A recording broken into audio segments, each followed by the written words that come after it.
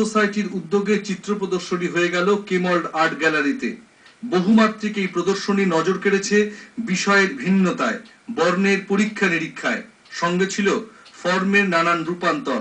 একই সঙ্গে ছিল আলোকচিত্র ও ভাস্কর্য প্রদর্শনী। প্রদর্শনী নিয়ে বললেন মধুমিতা দাস।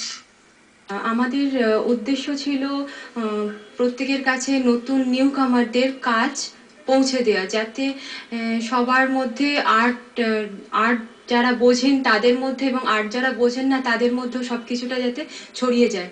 কলকাতার সোসাইটি সবসময় টেন্ডেন্সি রয়েছে প্রত্যেককে যাদের পক্ষে একা এগিয়ে আসা বা একা করা তো সম্ভব হয়ে ওঠে না, তো তাদেরকে নিয়ে এগিয়ে চলা। এখানে কিছু আর্টিস্ট রয়েছেন যেরকম অনির্বাণ সেটের কাজ রয়েছে চামড়ার ওপর। এখানে শর্মিলা বসাক রয়েছেন ফটোগ্রাফির মধ্যে বুদ্ধ দাস রয়েছেন, অজিতাদি পেন্টিংয়ের মধ্যে রয়েছেন, বর্ষা বাগচি, হিম- হিমশিখা পালিত বা আরও বাইরের যেরকম মনীষা বোরা দত্তা উনি চিত্রকলা পরিষদ মানে ব্যাঙ্গালোর থেকে উনি পাঠিয়েছেন কাজ। অনেক দূর দূর থেকে আমাদের অনেক গ্রুপে রয়েছেন। যেরকম ধরুন মরিশাস, জার্মানি, কিছু আর্টিস্ট আমাদের সঙ্গে রয়েছে যারা আমাদের সব সময় কাজের দিক দিয়ে এগিয়ে যেতে বলে।